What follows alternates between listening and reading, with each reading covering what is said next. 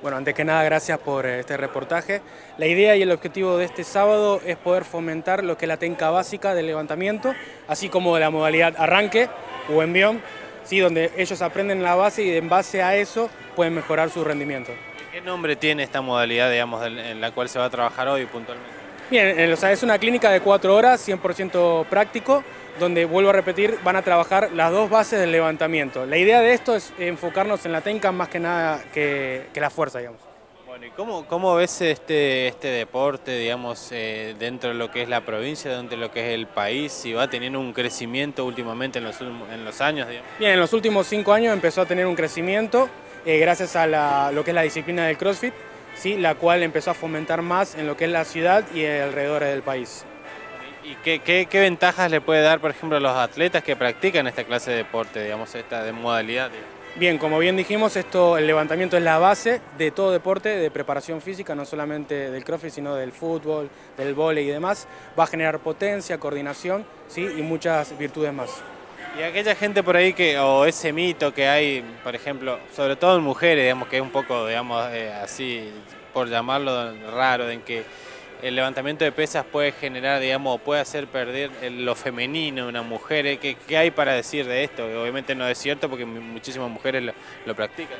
No, siempre, o sea, lo que yo siempre recomiendo es que sea progresivo, que vaya de lo más simple a lo más complejo y que tratemos de entender de que estamos entrenando una mujer, sí, que no se entrena igual que un hombre y bueno, eso va a quedar siempre en cada uno de los entrenadores depende mucho de la contextura física de la mujer, porque hay algunas que son más grandes, más altas.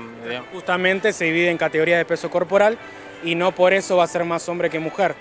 simplemente que el levantamiento va a generar, va a ser mucho más eh, tonificable, eh, va a poder tener más potencia, más coordinada. Incluso eh, se ha comprobado de que con el levantamiento aceleran el metabolismo y descienden el peso corporal.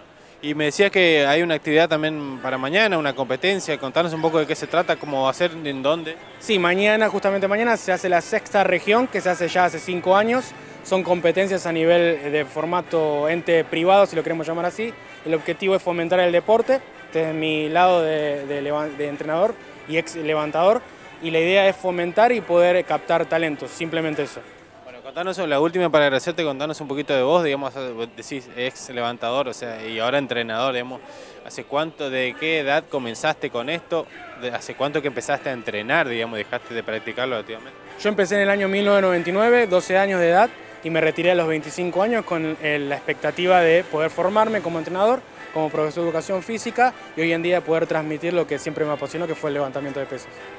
Si has estado en otros lugares, en otras provincias, en otras ciudades, eh, ¿qué, ves, digamos, eh, el interés es de, se despierta más en los hombres, en las mujeres o, en ambos está creciendo por igual? Sí, por suerte he corrido todo el país eh, con este formato y no solamente el país, sino varios países de Latinoamérica y he comprobado de que la mujer se empieza a dar cuenta de que es un deporte súper completo y que obviamente es útil para cualquier tipo de base que necesite algún tipo de, límite de edad o, las personas que estén bien de salud y desean practicarlo lo pueden hacer sin ningún tipo de problema? Siempre, siempre y cuando tenga un buen entrenador detrás, eh, puedo empezar a la edad que yo quiera.